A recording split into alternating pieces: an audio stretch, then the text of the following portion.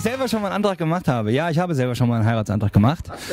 Habe ich, ja. Ich habe meiner Ex-Freundin damals einen Antrag gemacht und der wurde leider abgelehnt. Ich bin verheiratet, somit habe ich wohl auch einen Antrag bekommen und diese Geschichte ist positiv verlaufen. Äh, ich bin inzwischen schon zwölfeinhalb Jahre verheiratet, immer noch sehr glücklich und sehr verliebt. Also ich kann das nur empfehlen. Ja, mein Mann hat mich gefragt, Gott sei Dank. Ich musste also nicht Nein sagen und ich habe vor drei Jahren geheiratet und es war äh, ganz äh, klassisch. Nein, das habe ich noch nicht gemacht. Aber kann ja kommen, ne?